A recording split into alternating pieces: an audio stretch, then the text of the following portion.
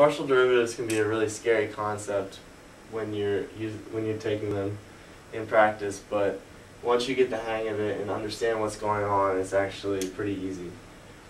When you when it tells you to take the partial derivative with respect to x of this function up here, what it's saying is to treat x as the only variable in the function and treat all the other variables, which in this case is only y, as a number. So if I'm taking the partial derivative with respect to x, I'm going to do what I usually do when I'm taking a derivative. Take the derivative of each of these individual terms. So the derivative of 5x, there's no other variables in it, so we don't have to worry about it. It's just 5. Where I'm treating x like the variable.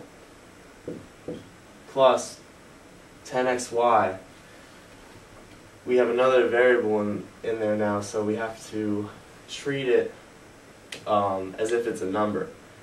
So if we rewrite this as 10y x, we can just pretend like this whole thing right here is just a number and take the derivative of this, which is just 10y. So if instead of 10y we had uh, 50x, the derivative of 50x is just 50 it's the same concept, it's just that you treat y like it's a number.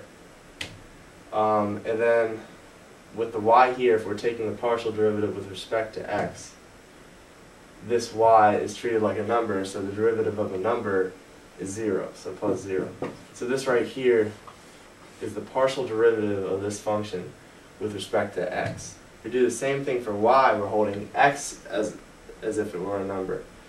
So 5x, if that's a number, the derivative of it is going to be 0.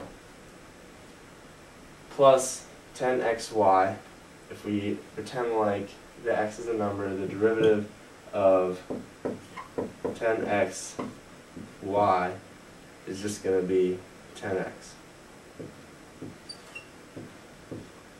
Plus the y, um, derivative of y is 1. So there we treated y like it was the variable, and x like it was a number, and it's other than that, it's just a normal derivative.